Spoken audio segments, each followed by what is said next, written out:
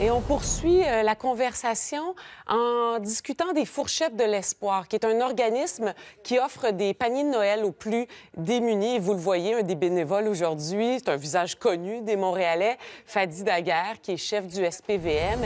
Et il est avec Brunilda Reis, qui est fondatrice et directrice des Fourchettes de l'Espoir. Merci beaucoup d'être là. Ça nous fait plaisir. Alors d'abord, expliquez-nous, qu'est-ce que vous avez fait aujourd'hui? Qu'est-ce que vous faites en ce moment? Alors, je vais passer le micro à Mme Reyes, puis je vais compléter par la suite. Parfait. Qu'est-ce qu'on a fait aujourd'hui? Aujourd'hui, on, est allé, on est allé voir les personnes seules à Montréal-Nord. Il y a plusieurs personnes qui n'a, il n'a, il a aucune personne par parler pour Noël. On a fait la distribution de 150 repas. 150 repas, des cadeaux, des petites gâteries pour que les personnes seules à Montréal-Nord passent une belle eh, Noël. Hmm. Puis j'ai été, j'ai été témoin de voir un peu les visages. Il y avait des personnes aînées, d'autres personnes seules, d'autres personnes handicapées. C'était extrêmement touchant de voir ces visages-là. Oui, parlez-nous-en des personnes que vous avez rencontrées. Ça peut ressembler à quoi les témoignages que vous recevez? Mais les témoignages, comme Mme Reyes le dit, ils étaient seuls. Et ont, probablement ce soir, il n'y aura personne à Noël avec eux. C'était la seule visite qu'ils allaient recevoir aujourd'hui. Donc franchement, c'était donner un peu d'espoir à tout le monde d'être avec eux. Et euh, moi, de mon côté, ce que je vais faire ce soir, je vais être avec mes troupes, nos, nos policiers, nos policières. Je vais aller les rencontrer. Mais euh, voilà, c'était vraiment un geste. Et ça fait combien d'années que vous faites ça?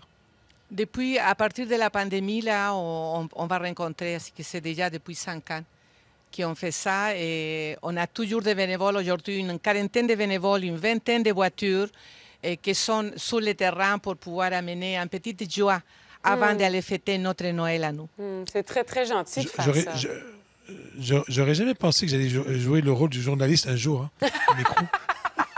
Vous avez tellement de talent. Mais, M. Daguerre, pourquoi vous avez choisi cette cause-là? Parce qu'on en parlait juste avant avec euh, le directeur des, des banques alimentaires. Il y en a beaucoup d'organismes qui sont là pour aider euh, les plus démunis. Pourquoi vous avez choisi les fourchettes de l'espoir?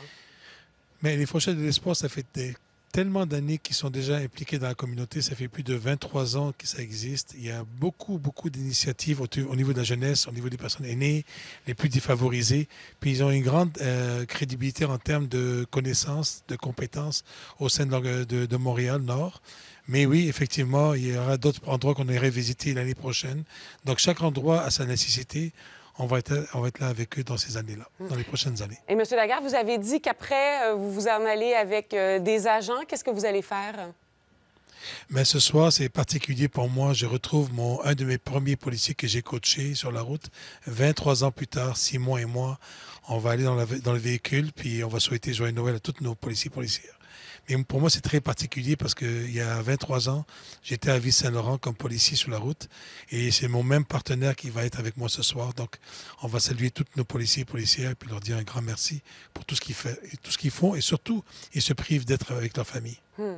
Et je voulais parler avec vous. Il y a une augmentation des personnes en situation d'itinérance au Québec, un peu partout, entre autres à Montréal. Est-ce que c'est une situation qui vous inquiète?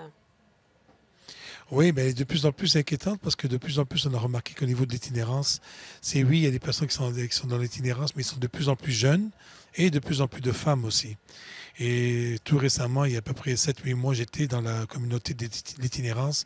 J'ai les ai côtoyés pendant 4-5 jours et j'ai vu ces visages-là que jamais j'aurais pensé qu'à 20, 21 ans, on pouvait se retrouver en itinérance et en plus Ouais. être une femme. Donc, c'est de plus en plus préoccupant. Bon, il nous reste une vingtaine de secondes. Je donnerai la parole, les derniers mots Oui, à Mme Reyes. oui. Est-ce qu'elle Oui, veut s'il vous ajouter? plaît.